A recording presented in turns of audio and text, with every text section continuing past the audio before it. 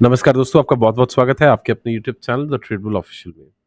दोस्तों इस वीडियो में हम डिस्कस करने वाले हैं कि बैंक निफ्टी कल 19 जून के दिन कहाँ पे कामकाज कर सकता है आपके कॉल पुट के क्या टारगेट रहेंगे। बट उससे पहले देखते हैं मार्केट ने आज कहाँ पे कामकाज किया शुक्रवार के दिन और मार्केट में कैसा दिन रहा। सो so, फ्राइडे को दोस्तों पहले तो मार्केट ने हमें एक हल्की फुल्की एक हमें फ्लैट ओपनिंग दी बैंक निफ्टी के अंदर। और उसके बाद दोस्तों मार्केट कंटिन्यूसली जैसे हमने थर्सडे की रात को वीडियो में बताया था कि ऊपर की तरफ़ एक जाने की कोशिश करेगी मार्केट और वैसा ही मार्केट ने कल किया फ्राइडे के दिन। दोस्तों, इन काफ़ी अच्छी मूवमेंट्स को हमने कैप्चर किया मार्केट के अंदर और एक बहुत ही अच्छा मूव मार्केट में देखने को नज़र आया जब मार्केट ने अपना तकरीबन 12 बजे से लेकर 2 बजे तक ये जो एक चैनल बनाया था अपने लिए इस चैनल का जैसे ही मार्केट ने ब्रेकडाउन दिया ब्रेकआउट दिया। बहुत ही ज़बरदस्त मार्केट के अंदर एक शॉर्ट कवरिंग हमें फ्राइडे को देखने को मिलती है और तकरीबन तीन बजे तक मार्केट फ्यूचर्स चार्ट पर 44,234 का लेवल यहाँ पर टच करके आती है। लास्ट के आधे पौने घंटे में एक हल्की फुल्की प्रॉफिट बुकिंग देखने को मिलती है। और मार्केट जो क्लोजिंग हमें देकर जाती है फ्यूचर्स चार्ट पर वो देकर जाती है तकरीबन 44,042 लेवल्स के आसपास।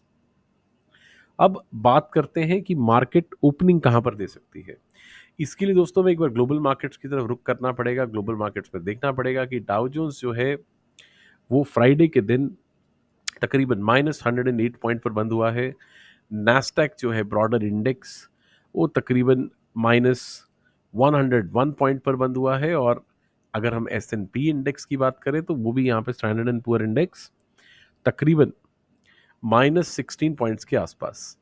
एस डी एक्स निफ्टी की बात करते हैं तो सिंगापुर निफ्टी भी यहाँ पर तकरीबन फ्लैट बंद हुआ है, तकरीबन प्लस तीन पॉइंट के साथ।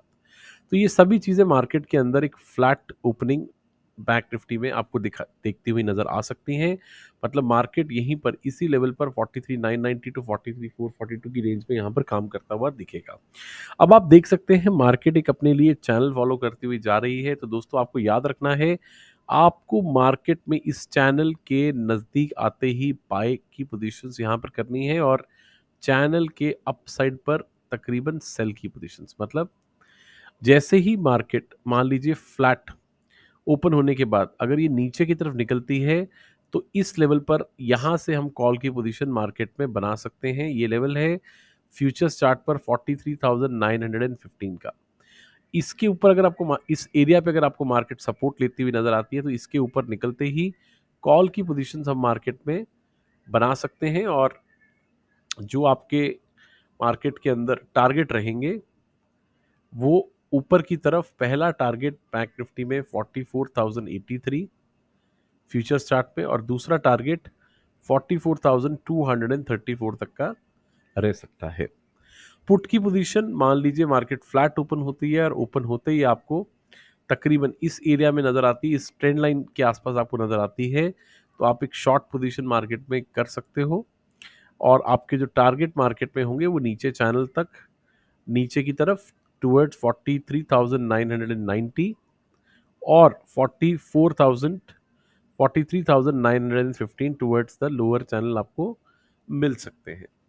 सो उम्मीद करता हूँ दोस्तों आपको वीडियो पसंद आई होगी। अगर आई है तो लाइक का बटन ज़रूर प्रेस करिएगा। आपने अगर अभी तक चैनल को सब्सक्राइब नहीं किया तो प्लीज़ सब्सक्राइब कर लीजिए ताकि मेरी कोई भी वीडियो आपसे मिस ना हो। लाइव स्ट्रीम को देखते रहें। बिकॉज़ जब तक मैं जो लेवल्स मार्क करता हूँ, आप उसका भरपूर फ़ायदा उठा सकते हैं। तो जल्दी मिलेंगे अगली वीडियो में, तब तक के लिए नमस्ते थैंक यू एंड बाय